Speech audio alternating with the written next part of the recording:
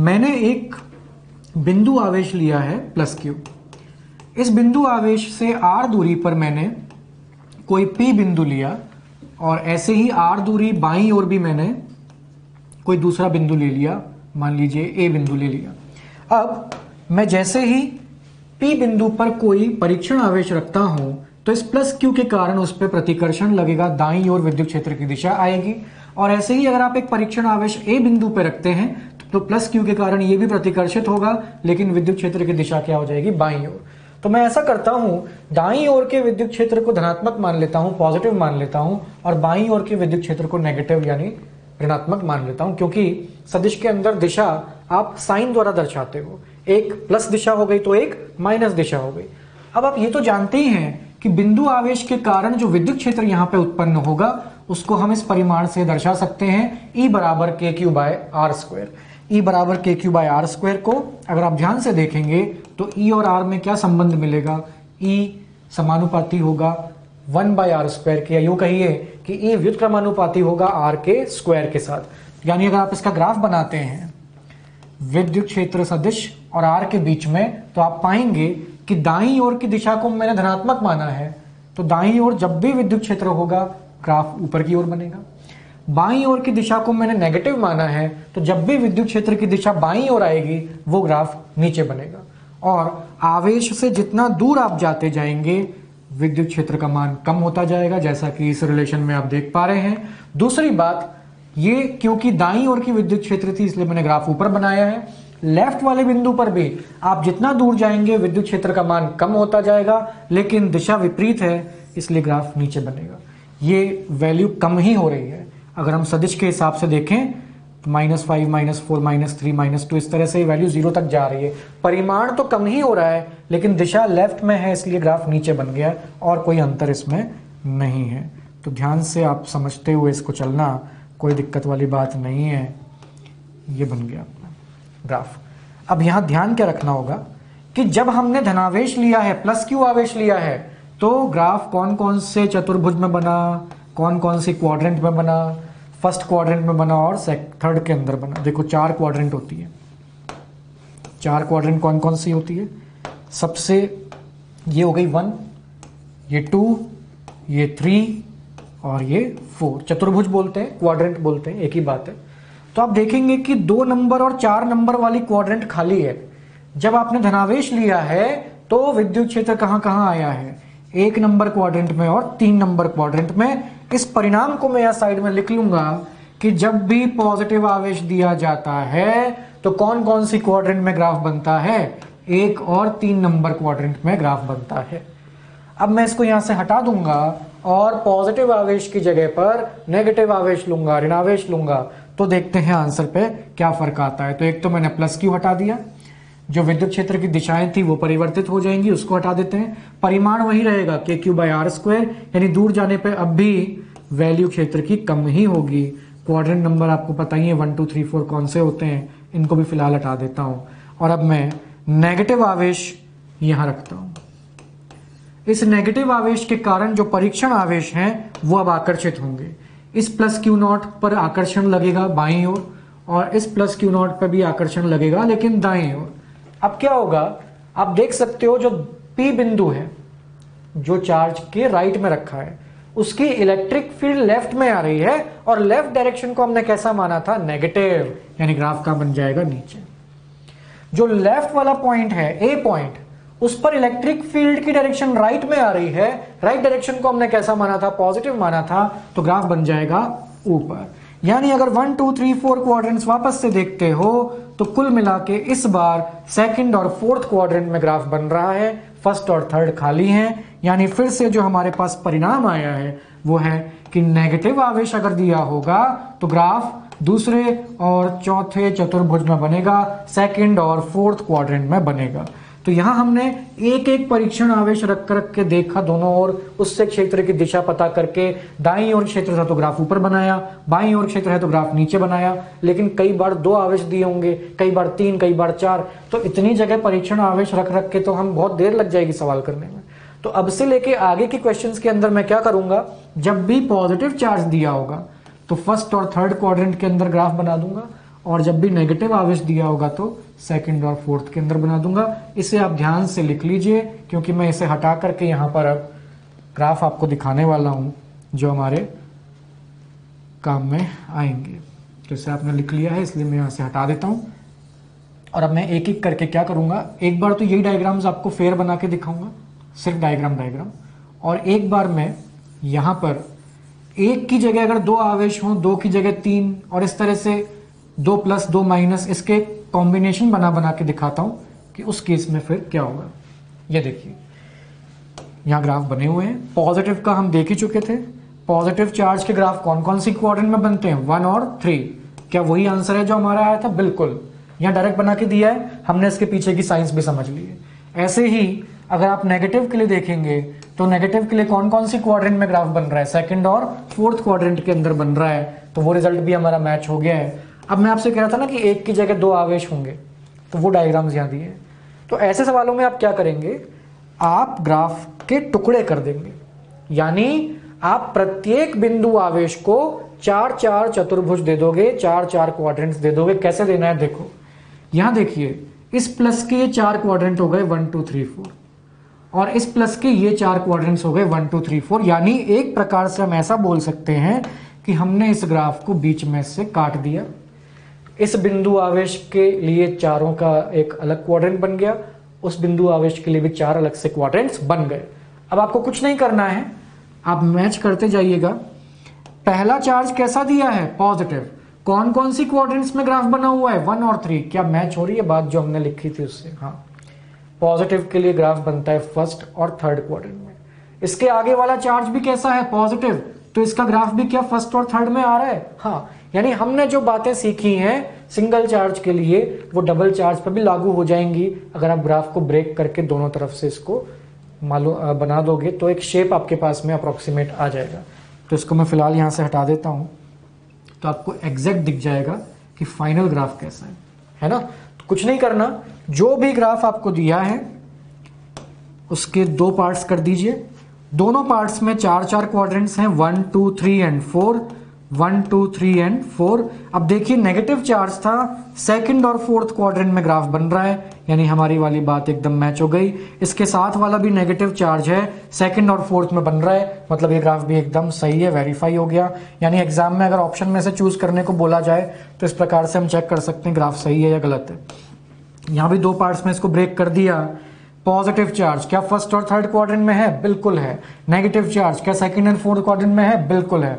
यानी सारी बातें एकदम सही चल रही हैं। सेम इसमें देख सकते हो आप। ये नेगेटिव है फ़र्स्ट और third quadrant sorry second and fourth quadrant और पॉजिटिव के लिए फ़र्स्ट एंड थर्ड क्वाड्रेंट बस आपको ध्यान ये रखना पड़ेगा कि पॉजिटिव चार्ज के लिए first and third negative charge के लिए सेकंड एंड फोर्थ अगर दाई ओर की दिशा पॉजिटिव लिए, जो कि हमेशा ली ही जाती है तो हम इस तरह से इसको कर सकते हैं।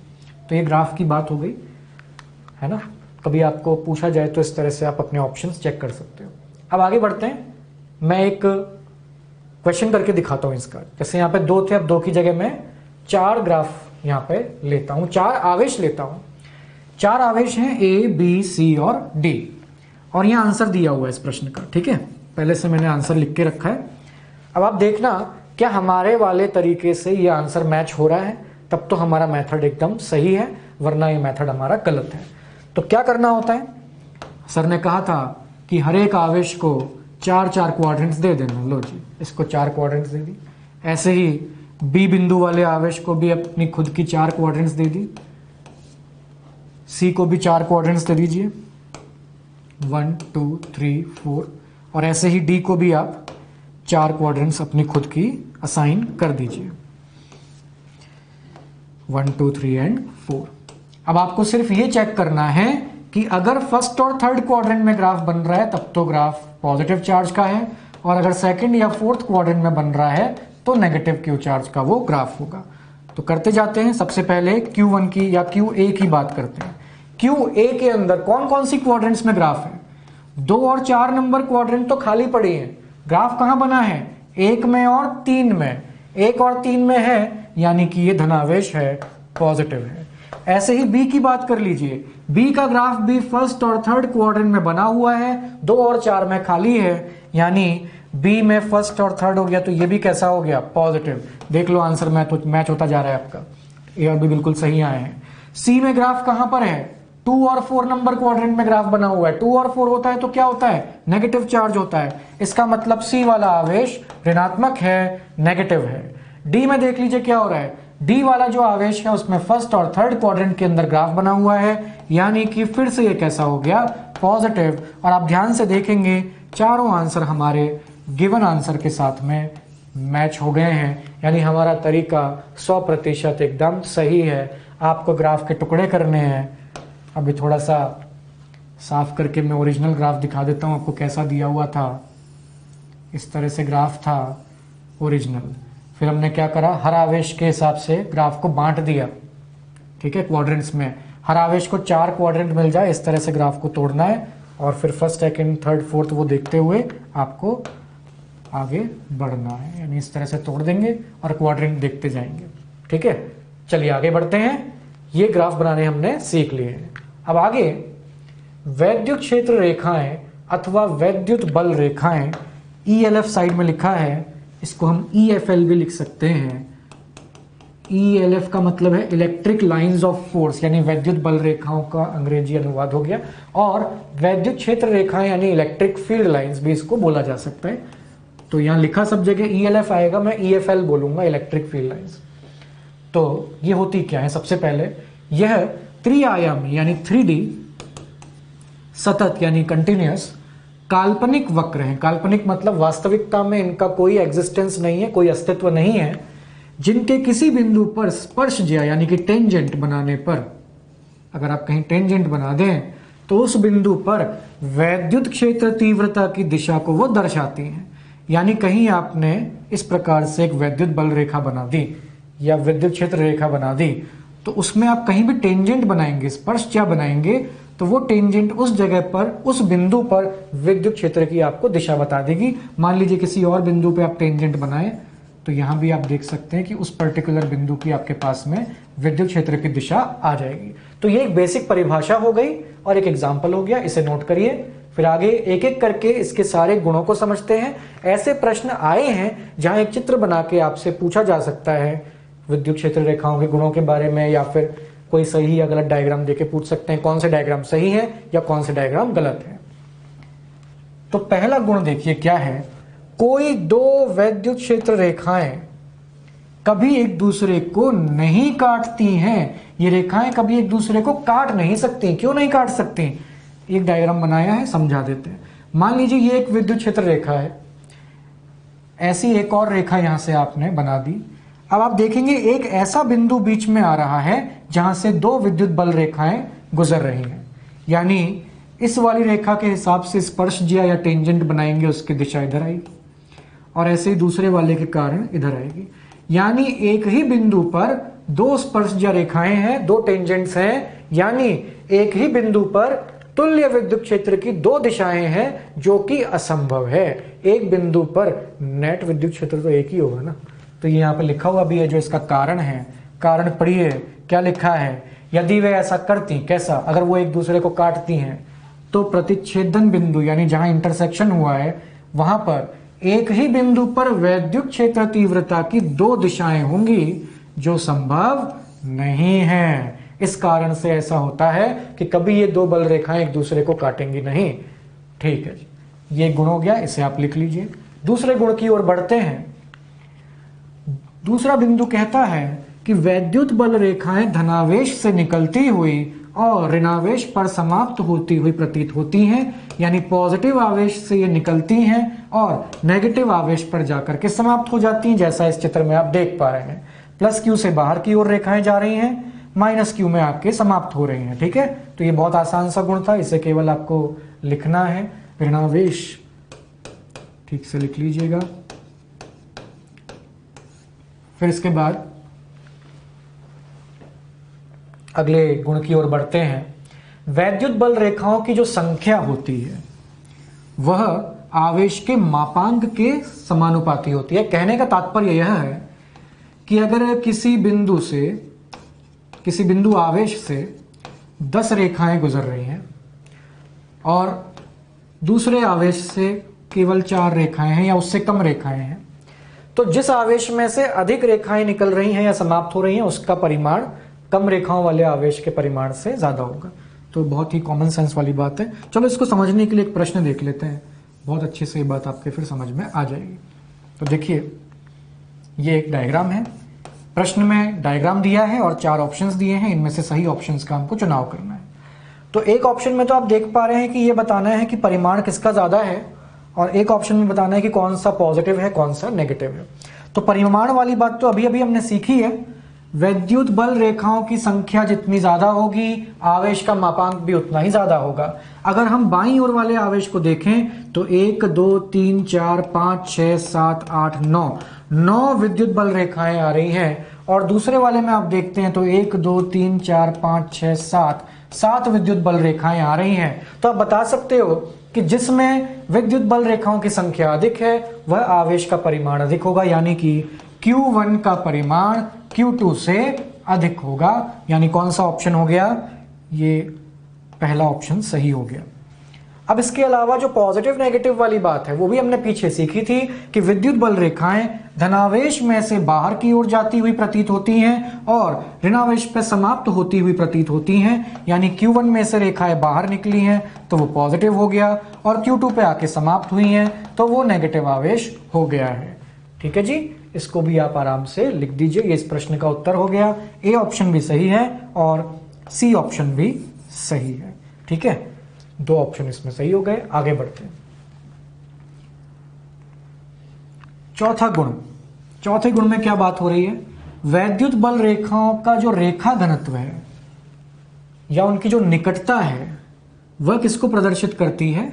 उस क्षेत्र की तीव्रता को प्रदर्शित करती है। जैसे इस चित्र में आप देख पा रहे हैं।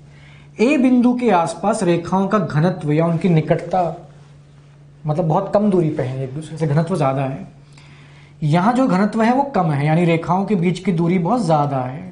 तो आप कह सकते हो जहाँ घनत्व ज़्यादा है, जहाँ रेखाएँ पास पास हैं, वहाँ तो विद्युत क्षेत्र तीव्र है। तीव्रता बहुत अधिक है उसकी।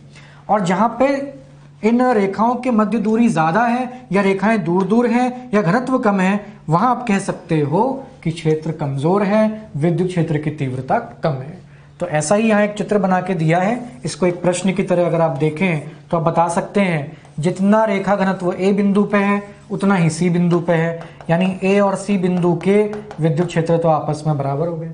लेकिन बी बिंदु के आसपास जो रेखाएँ हैं, वो बहुत दूर दूर हैं। वहाँ रेखाओं का घनत्व कम है, क्षेत्र कमज़ोर होगा वीक फ़ील्ड होगी। यानी जो बी बिंदु है बी बिंदु का क्षेत्र इन दोनों से क्या हो जाएगा? कम हो जाएगा।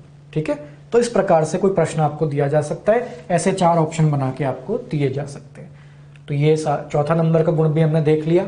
अब आगे अगले गुण की ओर बढ़ते हैं। पांचवा गुण यहाँ देखिए। एक समान वैद्युत क्षेत्र समांतर एवं समदूरस्थ रेखाओं से दर्शाया जाता है। किसी प्रश्न में अगर बोला हो कि एक समान विद्युत क्षेत्र है, यानी उसका परिमाण भी नियत है और दिशा भी समान है। ना दिशा में परिवर्तन हो रहा है ना परिमाण में परिवर्तन हो रहा है। ऐसे क्षेत्र को कैसे दर्शाया जाएगा? इस प्रकार से। जो रेखाएँ होंगी, वो सभी रेखाएँ एक ही दिशा की ओर पॉइंट कर रही होंगी और उनके मध्य दूरी भी हर जगह क्या होगी? बराबर। तो ये जो चित्र हमने बनाया है, ये चित्र किसको प्रदर्शित कर रहा है? एक समान विद्युत क्षेत्र को प्रदर्शित कर रहा है। यानी आपको कभी यूनिफॉर्म इलेक्ट्रिक फ़ील्ड बनानी हो तो ऐसे बनाओ। सारे तीर के निशान एक ही दिशा में होंगे और उनके मध्य दूरी भी क्या होगी? समान होगी। तो चलिए आगे बढ़े। अगले गुण की ओर। हाँ जी, यह एक महत्वपूर्ण बिंदु है। इसको बहुत ध्यान से हमको डिस्कस करना है। तो समझते हुए चलिए शुरू से इसको। इंपॉर्टेंट ठीक है। देखो, हम चैप्टर पढ़ रहे हैं। इलेक्ट्रोस्टैटिक्स यानी स्थिर वैद्युतिकी तो मैं एक बार यहाँ पे लिख देता हूँ ये चीज़ कि बात जितनी भी मैं बोलने वाला हूँ, वो स्थिर वैद्युतिकी के लिए ही लागू होगी।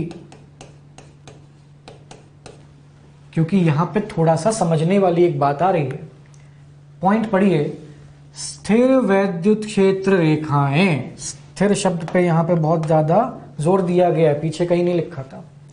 स्थिर वैद्युत क्षेत्र रेखाएँ कभी बंद लूप नहीं बनाती हैं, किंतु वैद्युत क्षेत्र रेखाएँ बंद लूप बना सकती हैं। आप अंतर समझ गए होंगे। अगर स्थिर वैद्युत क्षेत्र की बात हो रही है, चार्ज एट रेस्ट है, स्थिर वैद्युत की इस चैप्टर की बात हो रही है तो कभी भी बंद लूप नहीं बनेगा। लेकिन अगर सिर्फ़ ये लिख के दिया जाए, क्या वैद्युत क्षेत्र रेखाएँ बंद लूप बना सकती हैं? हाँ। अगर आगे स्थिर नहीं लिखा है तो वह बंद लूप बना सकती है। कैसे? वो देखते हैं। अच्छा फ़िलहाल हम क्या पढ़ रहे हैं? स्थिर वैद्युतिकी। तो स्थिर वैद्युतिकी के हिसाब से अगर आप देखेंगे तो देखिए पहला डायग्राम देखिए, या तीन डायग्राम्स हैं। पहले डायग्राम में देखिए, ये प्लस क्यू आवेश से एक रेखा प्रारंभ होती है माइनस क्यू पे जाके समाप्त होती है और फिर माइनस क्यू से वापस शुरू हो जाती है और प्लस क्यू पे जाके समाप्त होती है। यानी इसने एक तरह से एक क्लोज लूप बनाया है, बंद लूप बनाया है, जो नहीं बनना नहीं बनना चाहिए। एक गलती और इसमें आपने पकड़ ली होगी कि चलो, ऊपर तो प्लस क्यू से प्रारंभ हुई, माइनस क्यू पे समाप्त हो गई, लेकिन नीचे रेखा माइनस क्यू से प्रारंभ हुई है और प्लस क्यू पे जाके समाप्त हो गई है, जो कि गलत है। यानी ये डायग्राम गलत है। अगर आपको डायग्राम बना के पूछा जाए, इन चारों में कौन सा सही, कौन सा गलत तो आप बता सकते हैं इसमें दो गलतियाँ, एक तो बंद लूप बन रहा है, इस तरह से एक ही दिशा में, और दूसरी बात क्या है इसके अंदर? दूसरी बात यह है कि जो माइनस क्यू है, उससे कभी भी आवेश प्रारंभ नहीं हो सकता है, और प्लस क्यू पर जाके समाप्त भी नहीं हो सकता है। ये डायग्राम गलत है। मान लो ये तीन ऑप्शन दिए हुए हैं, चौथा भी कोई एक सही वाला दिया है। इसमें क्या प्रॉब्लम है? क्या ये बन सकता है या नहीं बन सकता है? तो प्रश्न देखना होगा, क्या स्थिर वैद्युत बल रेखाओं के बारे में बात हो रही है या सिर्फ़ वैद्युत रेखाओं के? तो अभी हम क्या पढ़ रहे हैं? स्थिर वैद्युतिकी तो स्थिर वैद्युतिकी के हिसाब से बंद लूप नहीं बन सकता, यह चित्र भी गलत है। ठीक है? गलती वही है, स्थिर वैद्युत क्षेत्र रेखाएँ कभी बंद लूप नहीं बनाती हैं। इसमें भी आप देख रहे हैं कि बंद लूप बन रहा है मतलब ये चित्र भी क्या हो जाएगा? गलत हो जाएगा। तो इसमें क्या गलती थी? बंद लूप बन रहा है, साथ में एक गलती और है इसके अंदर। कभी भी विद्युत बल रेखाएँ ऐसे झटके से नहीं मुड़ती हैं। ये कंटिन्यूस कर्व होते हैं, इनमें इस तरह से सडन ब्रेक्स नहीं आते। स्मूथ कर्व्स होते हैं ना। आराम से मुड़े। वो संभव है। लेकिन एक झटका देख के अगर ये मुड़ जाती है किसी दिशा में तो वो असंभव है। ठीक है? फिर बात आती है कि सर, आपने कहा कि वैद्युत क्षेत्र रेखाएँ बंद लूप बना सकती हैं यहाँ तो तीनों बंद लूप आपने गलत बता दिए, सही कब होगा फिर? सही तब होगा जब आप आगे एक चैप्टर पढ़ेंगे इलेक्ट्रोमैग्नेटिक इंडक्शन यानी विद्युत चुंबकीय प्रेरण। वहाँ जाकर के ऐसा संभव हो पाएगा। कैसे होगा? देखिए, अगर मोटे तौर पर बताऊँ तो वैद्युत क्षेत्र दो प्रकार के होते हैं। एक तो स्थिर आवेश के कारण बनता है और दूसरा प्रेरित वैद्युत क्षेत्र के कारण बनता है। स्थिर आवेश वाले केस में कोई बंद लूप नहीं बनेगा, जैसे इन तीनों में नहीं बना। इस चैप्टर के अंदर। लेकिन प्रेरित वैद्युत क्षेत्र जब आप पढ़ोगे वहाँ पर ईएमआई के अंदर, वहाँ पर ये वाला डायग्राम सही हो जाएगा, यानी बंद लूप बन सकेगा। उस चित्र में हम टिक लगा देंगे। सही है बिल्कुल। ठीक है? तो आपको यह देखना पड़ेगा कि क्या बात हो रही है। स्थिर आवेश की बात हो रही है तो बंद लूप नहीं बनेंगे। आगे जिस चैप्टर में पढ़ाया जाएगा, वहाँ बताया जाएगा किस तरह से क्लोज लूप बनते हैं। फ़िलहाल के लिए अभी हम कह सकते हैं इलेक्ट्रोस्टैटिक में कभी भी जो विद्युत बल रेखाएँ हैं वो बंद लूप नहीं बनाती हैं। तो इसको आप ध्यान से लिख लेना इंपॉर्टेंट है, ध्यान रखने वाली बात है। मैं आगे बढ़ता हूँ। सेवेंथ पॉइंट की ओर। सेवेंथ पॉइंट में क्या बात हो रही है? स्थिर वैद्युत अवस्था में, यहाँ भी ये बात ज़ोर देके बोली गई है कि स्थिर वैद्युत अवस्था में चालक के भीतर वैद्युत क्षेत्र शून्य होता है। जब चालक के गुण आपको पढ़ाए जाएँगे चैप्टर के एंड में तो वहाँ ये बात बताई जाएगी, ऐसा होता क्यों है? पर अभी आप मेरे कहने से मान लीजिए कि चालक के भीतर वैद्युत क्षेत्र शून्य होता है। जब चालक के भीतर कोई वैद्युत क्षेत्र ही नहीं है तो वैद्युत बल रेखाएँ किसे प्रदर्शित करेंगे? वैद्युत बल रेखाओं का काम क्या है? वैद्युत क्षेत्र को एक डायग्राम के रूप में दर्शाना, एक चित्र के रूप में दर्शाना, सचित्र और वर्णन करना उनका। लेकिन जब क्षेत्र ही नहीं है तो प्रदर्शित क्या करोगे फिर आप? तो एक तो ये चीज़ हो गई। लेकिन फिर ये क्यों बोला, सर, आपने कि स्थिर वैद्युत में ही ऐसा होगा? बिल्कुल, क्योंकि जब आप चालक तार लेंगे करंट इलेक्ट्रिसिटी के अंदर तो वहाँ आप लगाएँगे एक बैटरी जब बैटरी लगा देंगे तो एक और उच्च विभव होगा, एक और निम्न विभव होगा तो अंदर के जो मुक्त इलेक्ट्रॉन है वो गति करने लगेंगे, गतिमान हो जाएँगे।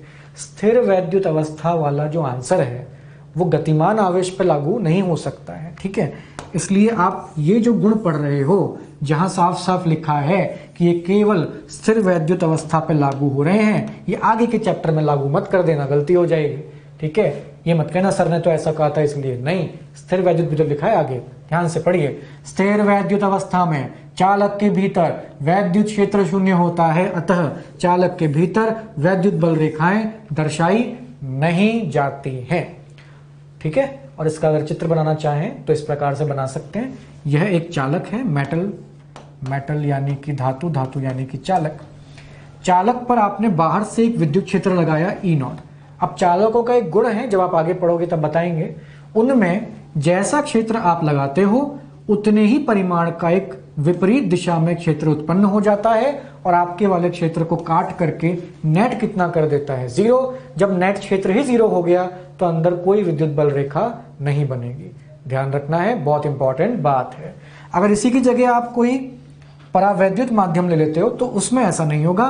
जितना क्षेत्र आप लगाओगे, उससे कम विपरीत दिशा में अंदर बनेगा तो पूरी तरह कैंसिल नहीं होगा, लेकिन परिमाण को थोड़ा सा कम कर देगा।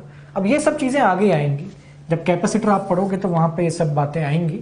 अभी तो केवल आप विद्युत बल रेखाओं के गुण पढ़ रहे हो तो ये सातवां बिंदु आप लिख लीजिए, कि डायग्राम नहीं बनाएँगे तो भी चल जाएगा, बना लेंगे तो भी कोई दिक्कत नहीं। आगे बढ़ते हैं। आठवां बिंदु। चूँकि चालक का पृष्ठ एक समविभव पृष्ठ होता है। समविभव पृष्ठ नाम से मालूम चल रहा है। एक ऐसा पृष्ठ जिसके हर बिंदु पर विभव नियत रहे, यानी विभव समान रहे। क्योंकि चालक का पृष्ठ एक समविभव पृष्ठ होता है, अतः वैद्युत बल रेखाएँ सदैव चालक के पृष्ठ के लंबवत होती हैं। ठीक है? ये प्लस क्यू एक बिंदु आवेश है। इस बिंदु आवेश से कुछ विद्युत बल रेखाएँ का, रेखाएँ प्रारंभ होती हैं। और ये जो रखा है बीच में, ये चालक रखा हुआ है। तो यहाँ आपको क्या सिखाया गया? कि चालक के साथ वैद्युत बल रेखाएँ हमेशा लंबवत होंगी 90 डिग्री का कोण बनाएँगे।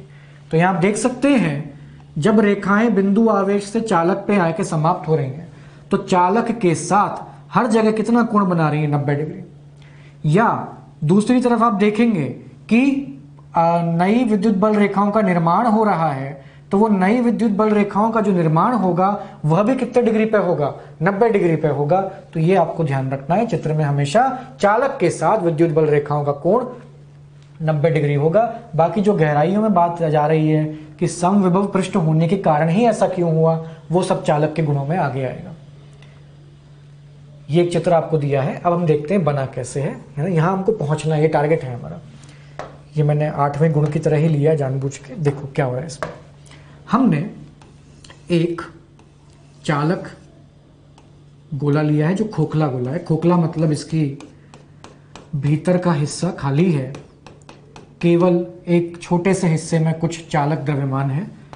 चालक पदार्थ से बना हुआ ये कोश है।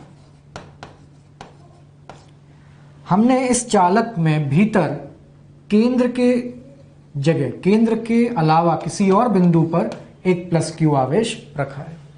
चालकों का ये गुण होता है कि अगर आप यहाँ प्लस क्यू आवेश रख देंगे तो उतना ही माइनस क्यू आवेश इस अंदर वाले पृष्ठ पर प्रेरित हो जाएगा। ठीक है? और जितना माइनस क्यू अंदर है, उतना ही प्लस क्यू नया आपको बाहरी पृष्ठ पे प्रदर्शित होगा इस तरह से। यानी अगर मैं चित्र बनाऊँ तो ऐसे बना सकता हूँ कि इस प्लस क्यू के कारण माइनस क्यू प्रेरित हुआ अंदर। और प्लस क्यू प्रेरित हुआ, या प्रेरित मत कहिए प्लस क्यू उत्पन्न हुआ बाहर क्यू ठीक है। अब जो आपने गुण पढ़े हैं, हमारा फोकस इस समय केवल विद्युत बल रेखाओं के गुण सीखने की ओर है। तो क्या होगा? इस आवेश से प्लस वाले से नई रेखाओं का निर्माण होगा।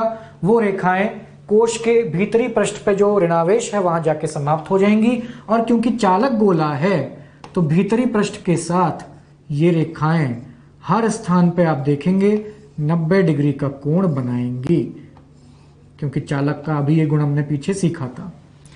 और बाहरी बाहरी पृष्ठ पर जो धनावेश है, वहाँ से जो नई रेखाओं का निर्माण भी होगा, वो 90 डिग्री के कोण पे ही होगा। ये भी हमें ध्यान रखना है। इस प्रकार से। तो इस प्रकार आप देख सकते हैं चित्र बना है। प्लस क्यू से माइनस क्यू प्रेरित हुआ, प्लस क्यू बाहर आ गया। और आई थिंक ये डायग्राम ज़्यादा अच्छा दिख रहा है तो आप इसको बना लेना। और ये हमारा सचित्र वर्णन हो गया इस चित्र का कि कैसे बना था। पूरा हमने बना के देख लिया, इसे आप नोट कर लीजिए। तो ऐसे भी आपको कोई डायग्राम देके पूछ सकते हैं कि बताइए, इस तरह की सिचुएशन में कैसा डायग्राम बनेगा विद्युत क्षेत्र रेखाओं का। ये नाइन्थ बिंदु था और हम आगे बढ़ते हैं। यहाँ भी एक चित्र दिया है, और इस चित्र में चार विद्युत बल रेखाएँ देकर आपसे पूछा जा रहा है, कौन सी बल रेखा सही निरूपण है? इन चारों में से कौन सी सही है, कौन सी गलत है? अगर आप डायग्राम्स को देखें, चारों में अंतर क्या है कि एक तो ये कंडक्टिंग स्फेयर है, यानी कि ये चालक गोला है। चालक गोला है, कुछ नहीं दिया है, ठोस मानेंगे। ये ठोस चालक गोले में क्या हो रहा है? पहली रेखा तो अंदर से होती हुई जा रही है, और यहाँ आप देख सकते हैं नब्बे डिग्री का कोण भी नहीं बना रही है तो गलत हो गई। क्योंकि चालक के अंदर विद्युत बल रेखाएँ नहीं बनती हैं, पहली बात, और 90 डिग्री के कोण पे ही समाप्त होती हैं या प्रारंभ होती हैं दो चीज़ें इसमें गलत है। क्या क्या गलत है?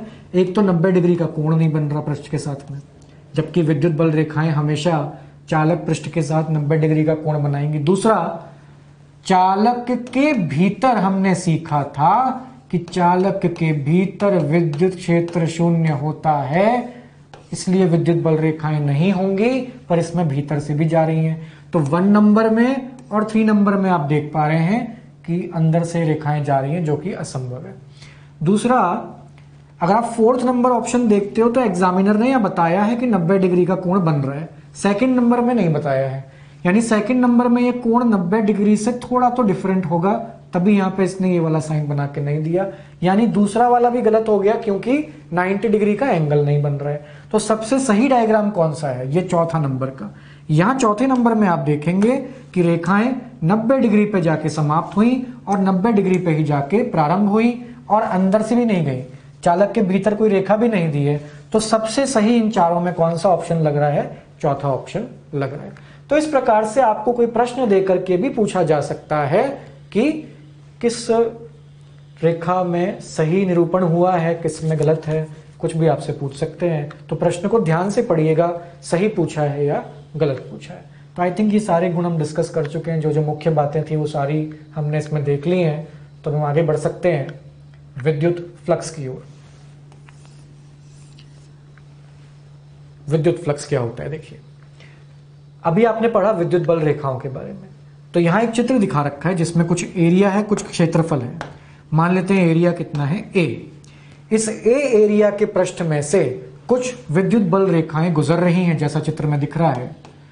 तो जिस पृष्ठ में से जितनी ज़्यादा रेखाएँ गुजरेंगी और पृष्ठ के लंबवत गुजरेंगी, उसका फ्लक्स उतना ही ज़्यादा माना जाएगा। यानी फ्लक्स का जो सिंबल है फाइव ई वो समानुपाती है किसी क्षेत्रफल से संबद्ध वैद्युत बल रेखाओं की संख्या के। जितनी ज़्यादा संख्या में रेखाएँ क्रॉस करेंगी उस पृष्ठ को, उतना ज़्यादा उस पृष्ठ का फ्लक्स कहलाएगा। अगर हम मैथमेटिकल डेफिनेशन की बात करें, परिभाषा की बात करें तो विद्युत फ्लक्स की परिभाषा है ई डॉट ए जिसमें ए क्या है? एरिया वेक्टर है। तो एक बार इसको लिखो, फिर मैं समझाता हूँ कि कैसे क्या हो रहा है।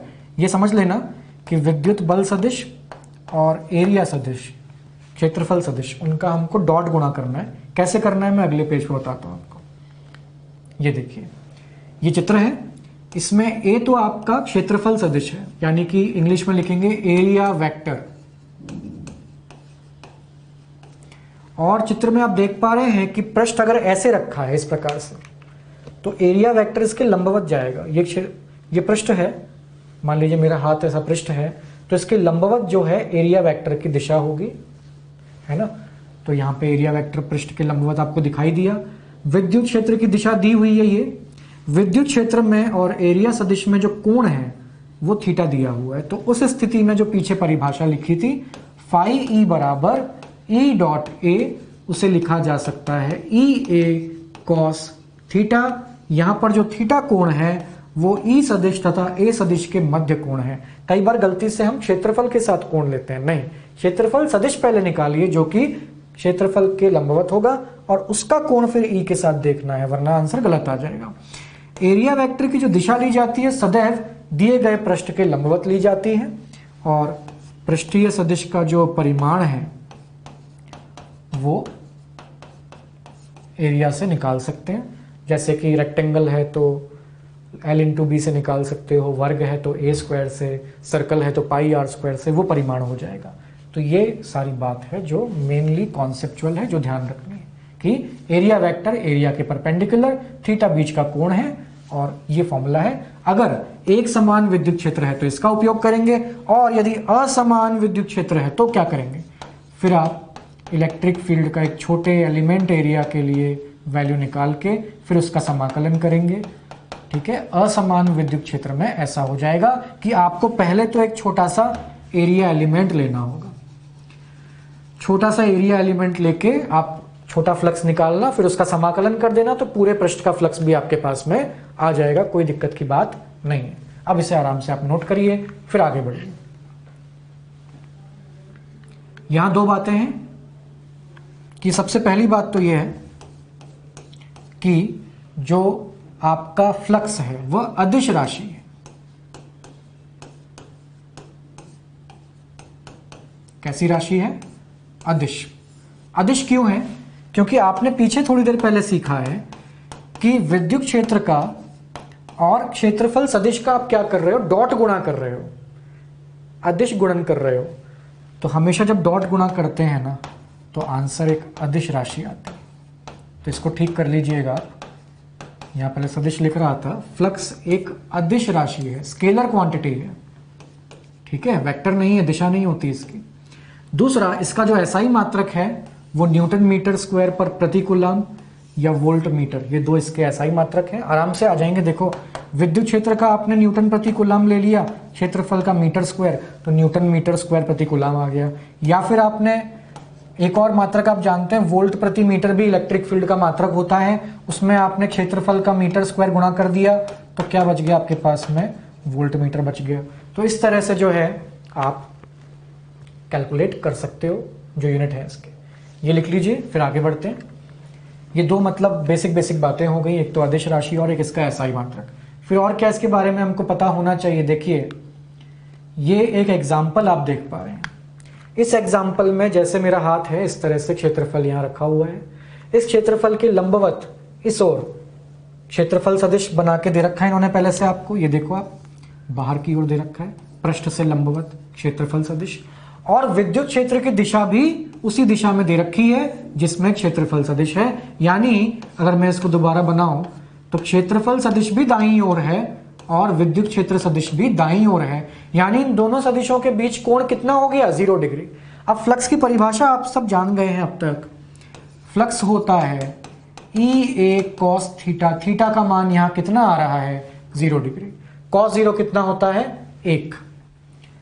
यानी आपका फ्लक्स आ गया प्लस का ई ए ये जो प्लस का ई ए फ्लक्स आया है, ये मैक्सिमम यानी फ्लक्स का अधिकतम मान है जो संभव था इसके लिए।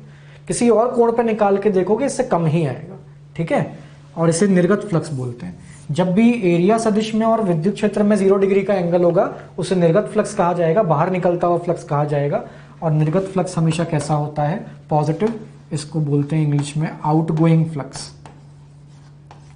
outgoing flux is always positive ठीक है? अब इसी का उल्टा एंगल लेके देखता हूँ। 180 डिग्री का एंगल लेके देखता हूँ। अगर मैं 180 डिग्री पे सेम डायग्राम बनाऊँ तो वो ऐसा नज़र आएगा। क्षेत्रफल सदिश बाहर की ओर, क्षेत्रफल सदिश बाहर की ओर, विद्युत क्षेत्र भीतर की ओर, यानी चित्र वापस बनाए अगर तो विद्युत क्षेत्र सॉरी एरिया वेक्टर तो बाहर है विद्युत क्षेत्र उसकी विपरीत दिशा में है। कोण कितना हो गया? 180 डिग्री। फ्लक्स की परिभाषा से निकाल के देखिए। ई ए कॉस एक सौ अस्सी डिग्री। कितना आ जाएगा? माइनस का ई ए और ये जो माइनस का ई ए है, ये मिनिमम यानी न्यूनतम मान है फ्लक्स का। और न्यूनतम मान कितने डिग्री पे आ रहा है? 180 डिग्री पे आ रहा है। ऐसे फ्लक्स को हम बोलते हैं आगत फ्लक्स। यानी भीतर आता हुआ फ्लक्स इनकमिंग फ्लक्स। और इसे भी आप लिख सकते हो कि incoming flux is always negative अंदर आता हुआ फ्लक्स हमेशा नेगेटिव होगा। ठीक है? तो ये भी आपके समझ में आ गया होगा। और एक इंपॉर्टेंट कोण होता है 90 डिग्री का कोण। 90 डिग्री के कोण पर देखते हैं क्या होता है। ये देखिए। ये पृष्ठ है इसमें विद्युत क्षेत्र दाई ओर जा रहा है, क्षेत्रफल सदिश ऊपर की ओर है, यानी इनके बीच का कोण कितना है? 90 डिग्री। 90 डिग्री के कोण पे आप फ्लक्स ज्ञात करके देखिए E A cos 90 degree cos 90 होता है ज़ीरो, यानी आपका निर्गत फ्लक्स या आगत फ्लक्स, कुछ नहीं आया, यहाँ पे फ्लक्स कितना आ गया? ज़ीरो आ गया। ज़ीरो फ्लक्स के हिसाब से आपकी ये वैल्यू कोई फ्लक्स इसमें संबद्धता नहीं है, ऐसा कह सकते हैं। या एक और एग्ज़ाम्पल यहाँ पे दिया है ये देखिए, एक आयताकार क्षेत्रफल है ए जो व्हाइट बोर्ड के ही प्लेन में रखा है हमारे, और ये विद्युत बल रेखाएँ गुजर रही हैं। आप देख सकते हैं जो विद्युत क्षेत्र है, विद्युत क्षेत्र एक्स वाई तल में है एक्स वाई प्लेन में है, लेकिन जो एरिया सदिश आएगा वो जेड अक्ष की ओर आएगा, बाहर की तरफ़। तो जेड अक्ष में है एरिया सदिश एक्स वाई प्लेन में है विद्युत क्षेत्र, यानी हम ये कह सकते हैं कि यहाँ भी जो थीटा है, वो 90 डिग्री के कोण पर आ रहा है एंगल 90 डिग्री है और 90 डिग्री पे जैसा ऊपर हमने देखा था, फ्लक्स कितना हो जाएगा? ज़ीरो। तो ये मेन मेन बातें हमने फ्लक्स के बारे में करी हैं। अभी और इसके बारे में हम सीखेंगे आगे के पार्ट्स में। जो नाइन्थ बिंदु है फ्लक्स के बारे में, वो क्या है देखो। फ्लक्स यदि किसी यादृक्षिक आकृति की वस्तु से फ्लक्स निकालना हो, यानी किसी रैंडम शेप के ऑब्जेक्ट में से फ्लक्स निकालना हो तो आप क्या करेंगे? फ्लक्स को प्रोजेक्शनल एरिया या प्रोजेक्टेड एरिया से क्या कर देंगे? मल्टीप्लाई प्रोजेक्टेड क्षेत्रफल से आप इसे गुणा कर देंगे। प्रोजेक्टेड वर्ड क्यों यूज़ कर रहे हैं? देखो, मान लो कोई गोला आपने ले लिया। कोई गोला लिया जिसकी त्रिज्या कितनी है? आर अब आर त्रिज्या के इस गोले के ऊपर मैं एक समांतर प्रकाश डालता हूँ। टॉर्च से या किसी और माध्यम से मैं इसके ऊपर प्रकाश भेजता हूँ जो एक ही दिशा में जा रहा है। तो पीछे स्थित किसी दीवार पर जो आपको इसकी आकृति दिखेगी, परछाई दिखेगी, वो कैसी दिखेगी? वह आपको एक वृत्ताकार आकृति नज़र आएगी। यानी कि गोले के लिए, सस्फेयर के लिए आपको पीछे सर्कुलर डिस्क दिखेगा। ठीक है? चक्ति की, आकृति के पीछे आपको एक शेडो नज़र आएगी, परछाई नज़र आएगी। ऐसा हम कह सकते हैं। उसी प्रकार से अगर इस गोले के ऊपर मैं प्रकाश के स्थान पर एक नियत विद्युत क्षेत्र, यानी एक समान विद्युत क्षेत्र में यहाँ से अप्लाई करता हूँ तो ये विद्युत क्षेत्र जब इसमें से पास होगा तो हमें प्रोजेक्टेड एरिया लेना है, यानी अनुप्रस्थ काट का अधिकतम मान। इस गोले में कई छोटे बड़े अनुप्रस्थ काट होंगे, लेकिन हमें कौन सा क्षेत्रफल लेना है जो अधिकतम हो? यानी आर त्रिज्या का एक सर्कल वृत्त। वो इसकी क्या होगी? प्रोजेक्टेड एरिया की वैल्यू यानी पीछे वही वाली बात है। शेडो कैसी शेप की बनेगी? अगर लाइट डालेंगे तो। सर्कल बनेगा। तो सर्कल ही इसका क्या हो जाएगा? प्रोजेक्टेड एरिया अब यहाँ पे आप तीन चीज़ें ज्ञात कर सकते हो। एक तो आप ज्ञात कर सकते हो आगत फ्लक्स यानी इनकमिंग फ्लक्स पहले आपको सिखा दिया था मैंने कि इनकमिंग फ्लक्स सदैव ऋणात्मक, यानी कि नेगेटिव होता है। तो यहाँ वही वाली बात है। इनकमिंग फ्लक्स है, इसलिए माइनस साइन आएगा, क्योंकि क्षेत्रफल जा रहा है दाई ओर। जो क्षेत्रफल सदिश होगा, वो बाई ओर होगा तो 180 डिग्री पर कॉस का मान कितना आ जाएगा? माइनस वन तो सीधा लिख सकते हैं E into pi R square ये हमारे पास में आगत यानी इनकमिंग फ्लक्स आ गया है। ऐसे ही, अगर आउटगोइंग फ्लक्स की बात करें तो मैंने सिखाया था कि बाहर जाता हुआ फ्लक्स हमेशा धनात्मक यानी पॉजिटिव होता है। तो यहाँ से जब electric flick electric field lines बाहर निकलेंगी तो एरिया वेक्टर किस तरफ़ आएगा? दाई ओर आएगा। क्षेत्रफल सदिश दाई ओर आएगा। तो फाई आउटगोइंग मैंने सिखाया है पॉजिटिव होता है। E into pi R square और अगर आप नेट फ्लक्स निकालते हैं, तुल्य फ्लक्स निकालते हैं तो आप देखेंगे दोनों बराबर हैं कट के कितना हो जाएगा ज़ीरो ये ध्यान रखिए, किसी भी बंद पृष्ठ में जब भी नियत या एक समान विद्युत क्षेत्र भेजा जाता है तो हमेशा नेट फ्लक्स ज़ीरो होता है। आपको सॉल्व करके भी बता दिया, वैसे आप ध्यान भी रख सकते हो। तो यही इस पॉइंट का मीनिंग है कि ऐसा कोई ऑब्जेक्ट हो जिसमें कई सारे छोटे बड़े एरिया आ रहे हो तो आपको सबसे बड़ा एरिया लेना है जो अंदर उसका अनुप्रस्थ काट होगा। प्रोजेक्टेड एरिया बोलते हैं इसको, ठीक है? तो ये बिंदु आप लिख लें। मैं एक दो एग्जाम्पल्स के माध्यम से इसको और अच्छे से समझा देता हूँ। आपने लिख लिया है तो मैं आगे बढ़ता हूँ। ये देखिए, यहाँ पे दसवां बिंदु बना करके एक प्रश्न दिया गया है, जिसमें ऊपर की ओर से आप देख सकते हैं कि एक विद्युत क्षेत्र आ रहा है, एक समान विद्युत क्षेत्र मान लीजिए प्रश्न में दिया गया है। ई इसका मान है। अब यहाँ आप जब देखेंगे, थोड़ी देर के लिए विद्युत क्षेत्र को प्रकाश मान लीजिए कि समांतर प्रकाश की कुछ किरणें आ रही हैं तो नीचे अगर उसकी शेडो देखें, परछाई देखें तो वो कैसी बनेगी? बिल्कुल उसी जैसे गोले के अंदर बनी थी, सबसे बड़े क्षेत्रफल का जो वृत्त होगा, उस आकार के पीछे आपको परछाई नज़र आएगी शेडो नज़र आएगी। तो यहाँ भी हमारे पास में जो प्रोजेक्टेड एरिया हो गया है प्रोजेक्टेड क्षेत्रफल जो हो गया है, वो सेम पाई आर स्क्वायर हो गया है। अब ये देखिए कि आगत फ्लक्स निकालना है या निर्गत? क्योंकि आगत फ्लक्स है तो माइनस में आएगा, निर्गत फ्लक्स है तो प्लस में आएगा। तो यहाँ निर्गत फ्लक्स की बात हो रही है, सारे ऑप्शन प्लस में दिए गए हैं, और इलेक्ट्रिक फ़ील्ड इनटू एरिया मैंने आपको सिखाई गया, दिया था प्रोजेक्टेड एरिया तो E into pi R square जो पिछले प्रश्न का आंसर था हमारा निर्गत फ्लक्स का, या पिछला जो मैंने एग्ज़ाम्पल आपको दिया था, वही इसका भी आंसर हो जाएगा, यहाँ से आप वेरीफाई कर सकते हैं। ठीक है? तो ये एक एग्ज़ाम्पल हो गया। चलिए ऐसा एक और एग्ज़ाम्पल लेकर समझते हैं इसको। इसे लिख लीजिए, मैं अगला प्रश्न आपको दिखाता हूँ। यहाँ पे बोला गया है कि एक शंकु है, जिसकी त्रिज्या आर है, आधार की, और इसकी जो ऊंचाई दे रखी है वो एच दे रखी है, ठीक है? ये आर त्रिज्या हो गई और ये एच इसकी ऊंचाई हो गई। अगर हम पूरे व्यास की बात करें तो इस शंकु का जो व्यास है, आधार का इसके, वो टू आर लंबाई का है। हमने एक समान विद्युत क्षेत्र फिर से भेजा है, लेकिन इस बार दाई ओर भेजा है तो एक समान विद्युत क्षेत्र दाई ओर आप इस चित्र में देख पा रहे हैं, ई इसका परिमाण है। तो यहाँ भी देखो, मान लो प्रकाश की समांतर किरणें आए तो पीछे परछाई किस आकार की बनेगी, किस आकृति की बनेगी? एक त्रिभुज बनेगा। ऐसा त्रिभुज बनेगा जैसा इस समय आपको नज़र आ रहा है। ये देखिए, अगर ये शंकु देखें तो वैसे तो ये त्रिआयामी वस्तु है, लेकिन अभी इस स्क्रीन पर तो दो आयाम में बनी हुई है है ना? तो एक आपको त्रिभुज नज़र आएगा, जिस त्रिभुज के बेस की लेंथ होगी टू आर आधार की जो लंबाई होगी वो टू आर होगी और इस त्रिभुज की ऊंचाई कितनी होगी एच ये इसका प्रोजेक्टेड एरिया बन जाएगा। ठीक है?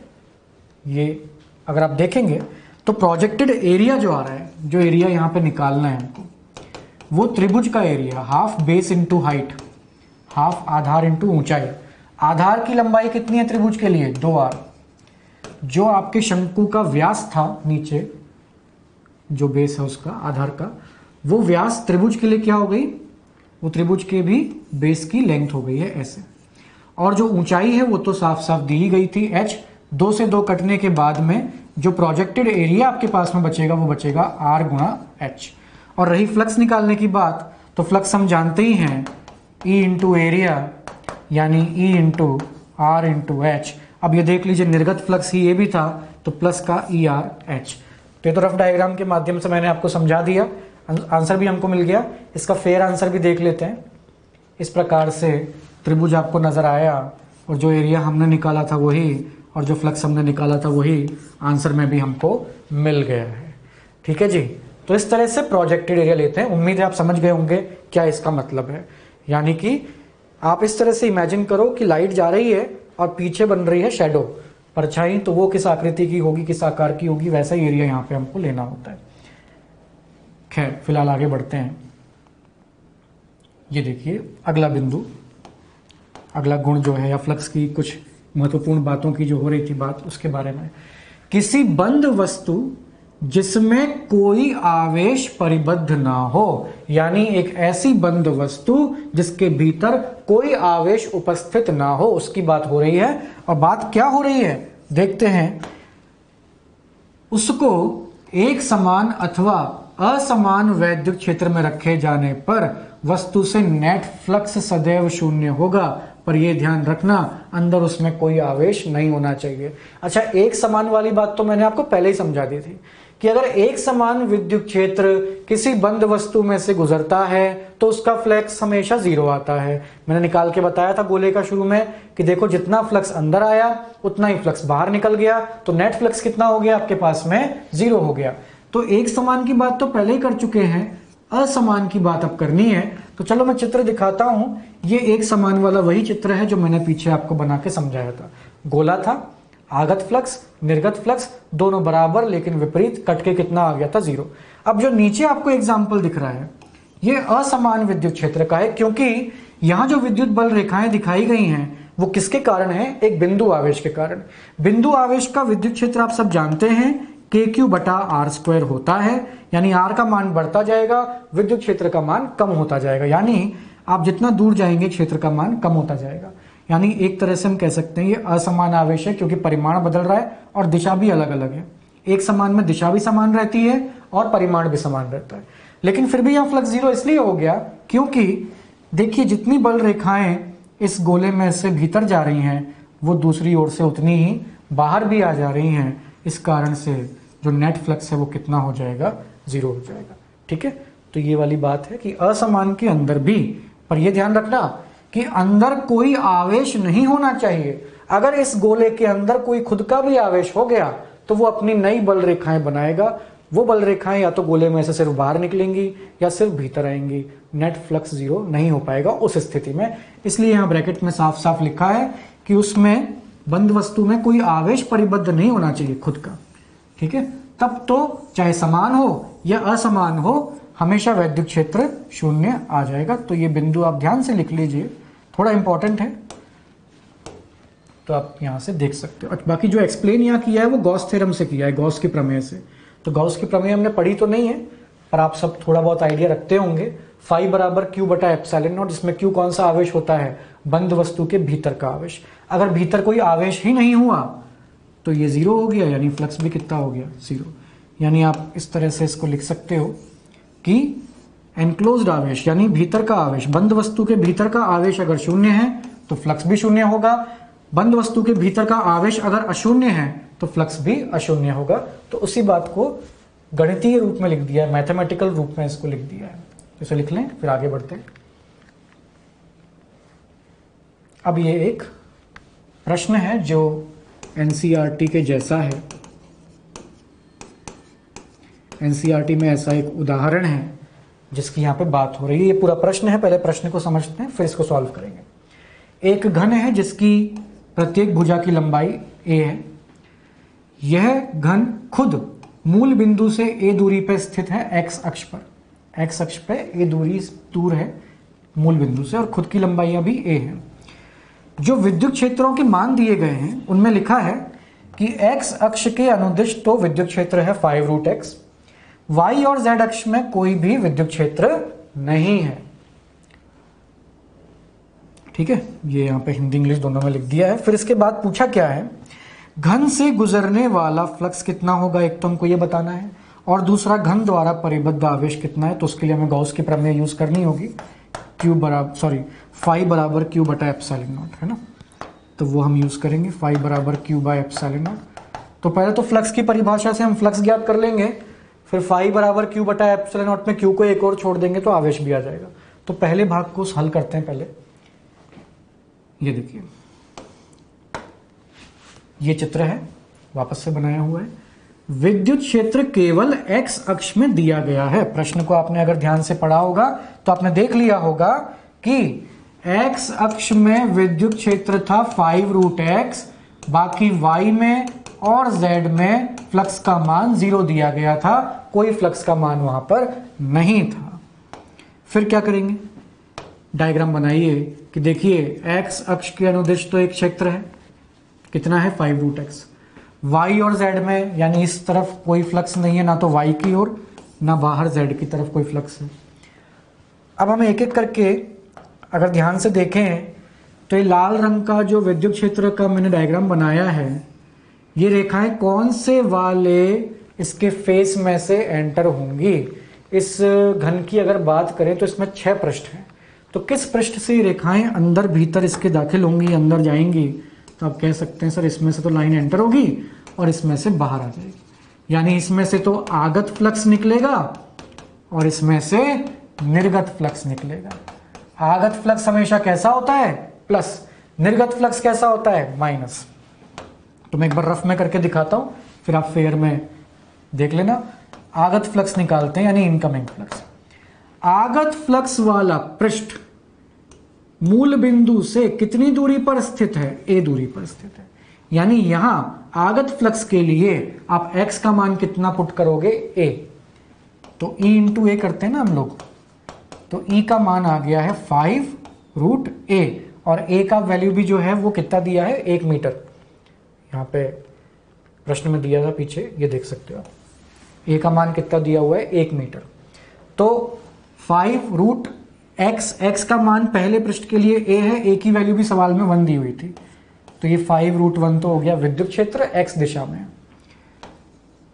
फिर, जो एरिया वेक्टर आप लेंगे, क्षेत्रफल सदिश, वो कैसा लिया जाता है? लंबवत बाहर की ओर। लंबवत घन से बाहर की ओर। ये क्षेत्र ऐसा है, ये एबीसीडी वाला जो इसका वर्ग है, और उसका लंबवत बाहर की ओर क्यूब के बाहर आप लेंगे तो वो नेगेटिव एक्स में आएगा, यानी कुल मिला के A square with minus I cap आप लिख सकते हो उसका। तो मैंने ए स्क्वायर लिखा।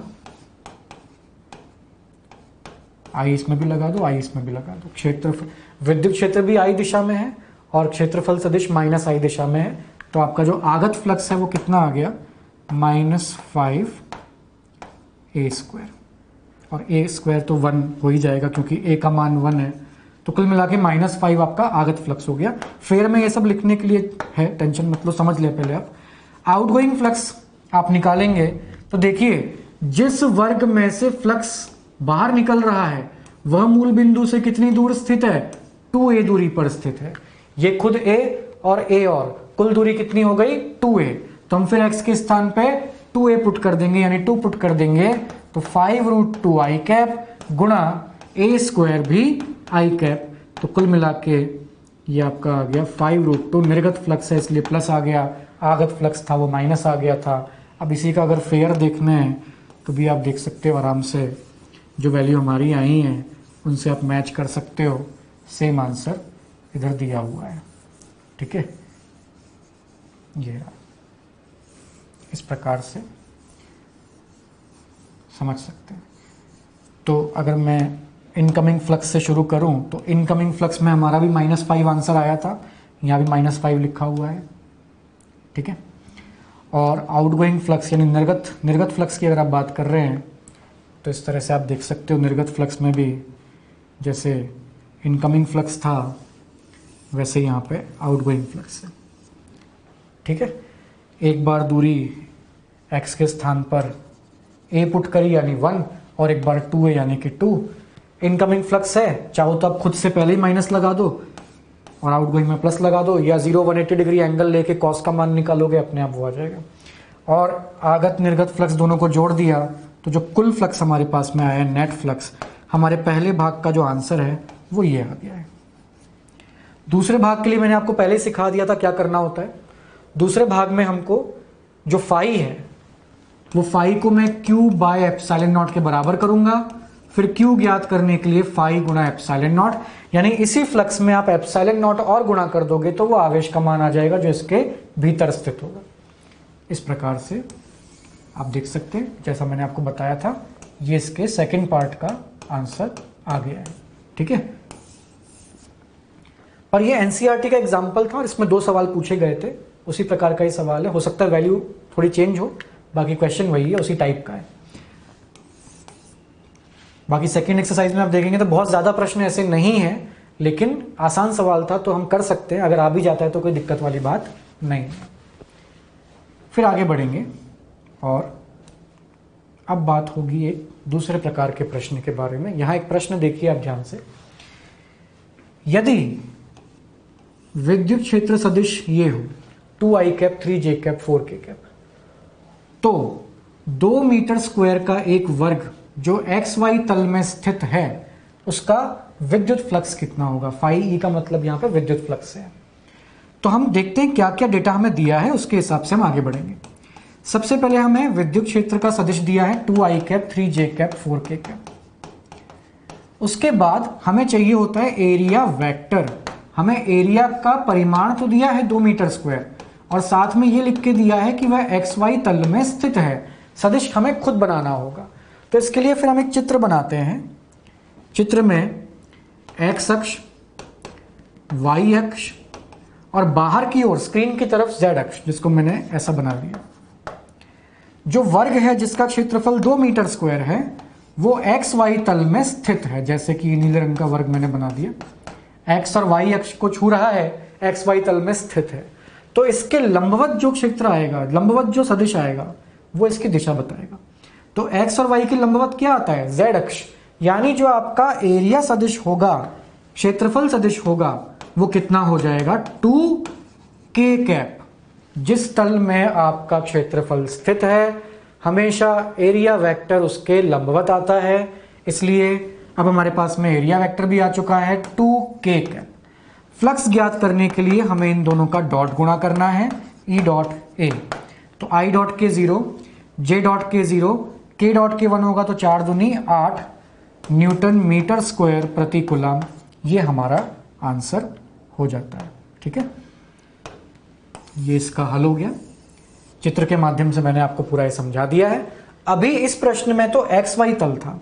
अगर एक्स वाई के स्थान पे कोई दूसरे तल भी होंगे तो घबराने की आवश्यकता नहीं है। बड़े आराम से आप ज्ञात कर सकते हो। कैसे करोगे? देखो। एक्स वाई तल था। तो क्षेत्रफल सदिश की दिशा क्या आई?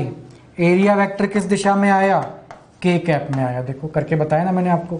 एक्स वाई लंबवत के कैप अगर एक्स वाई के स्थान पर वाई जेड तल भी दे दिया तो वाई जेड की लंबवत कौन सी दिशा आएगी? एक्स अक्ष वाली दिशा आएगी, यानी एरिया वेक्टर फिर हो जाएगा आई कैप के अनुदिश। और ऐसे ही अगर आपको एक्स जेड तल दे दिया जाता है प्रश्न के अंदर तो फिर एक्स जेड के लंबवत एरिया वेक्टर की जो दिशा आएगी, वो किस ओर आएगी? जे कैप के अनुदिश आ जाएगी। या और अच्छे से मैं अगर इसको दिखाऊँ आपको तो हम एकांक सदिश ले सकते हैं, क्योंकि हमें केवल दिशा ही तो प्रदर्शित करनी है। तो ये ध्यान रखिए कि जो तल दिया है, उसके लंबवत हमेशा दिशा आती है क्षेत्रफल सदिश की। ठीक है?